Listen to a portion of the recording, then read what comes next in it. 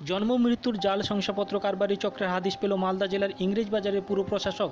পুরসভার দপ্তরের জাল, জন্ম, মৃত্যুর শংসাপত্র তৈরির ঘুঘুর বাসা বেশ কয়েক মাস যাবৎ সক্রিয়। নকল নথি জমা দিয়ে পুরসভার জন্ম, মৃত্যুর দপ্তর থেকে জন্ম ও মৃত্যুর শংসাপত্র তৈরি করতেন এক শ্রেণির দালাল। শুধু তাই নয়, পুরসভার অনুরূপ অবিকল জন্ম, মৃত্যুর শংসাপত্র বিক্রি করত এইসব কারবারিরা। এমন অভিযোগ পেয়ে তৃণমূল কংগ্রেস পরিচালিত ইংরেজবাজারের পুর প্রশাসক সুমালা আগরওয়াল আজ তদন্তে নামেন।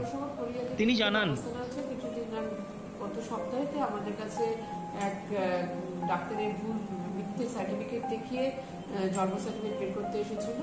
আমরা সঙ্গে সঙ্গে তাকে পুলিশের হাতে দিয়েছি এবং আগামী দিনে যাতে কোনো পড়িয়া না থাকে সেজন্য ডিপার্টমেন্টে বারবার নজরদারি এবং আজকের সার্টিফিকেট আজকেই দেওয়ার ব্যবস্থা আমরা করেছি।